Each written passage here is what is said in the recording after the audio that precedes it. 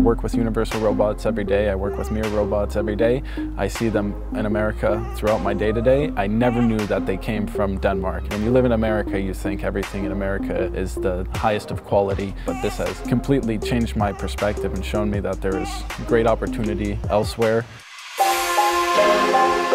We believe that we have here in Odense knowledge about technologies within the most important disciplines in robotics, modeling and simulation of robot systems, digital twins, planning of robot movements, its control of robots, computer vision, human-robot interaction.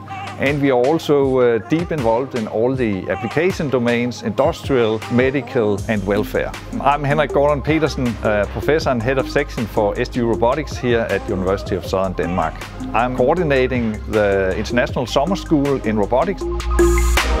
I wanted to come here, one because I've never been to Denmark before and I just thought it was a great opportunity to meet other students from around the world. I've never been considered an international student before so I think this was cool and just being here uh, has made me realize that wow, like there are innovative hubs and environments focused on technology outside of Silicon Valley. We are aiming at students at the fourth year, potentially first year PhD. The level is high, so they will be challenged, but if they're good students, they will be able to cope with it. The students will, in addition to the educational course, they will also have tours to meet robotics companies in the, in the cluster, particularly surrounded uh, here in, uh, in Odense, but also in Denmark.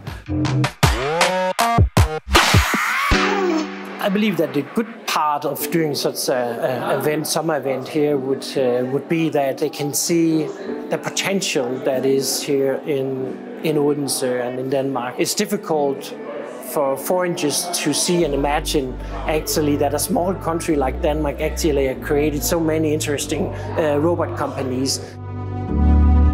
Coming to Denmark for the first time, I found so much more than I ever expected. I Traditionally, I would just think about Danish uh, breakfast pastries and stuff like that. And I, my mind has been absolutely blown by the amount of support. Uh, I think that was one of the, the key selling points for me is that they were going to be drafting students from all over the world. Really important that we keep on attracting a lot of talented people for the companies, the robot companies and the automation companies and the drone companies. It's very important that the universities in Denmark keep on investing in educating uh, talent and a, and a, very large pool of talent uh, for these companies. I also liked the research atmosphere here at SDU.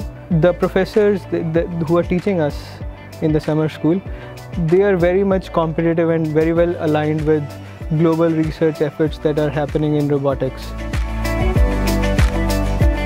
I met the professor for the first time on the roof of the hotel, you know, in this, this social ambiance. And then the next day is when I actually saw him giving a lecture in class. These, the relationships you can have between the professor and, and people outside of school, it blends really smoothly.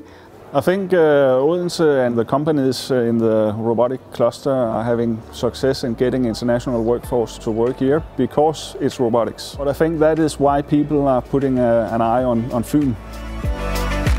Just in this week and being surrounded by the students every day, uh, having conversations with them and learning about their backgrounds has changed what I think about my own career and academic path. Before I really wasn't sure what to do and felt kind of lost in a sense, but hearing them and they have a lot more experience than I do has made me think that I would like to pursue um, postgraduate studies like a, a master's or a PhD in computer science. I do see it as a, as a good path for me.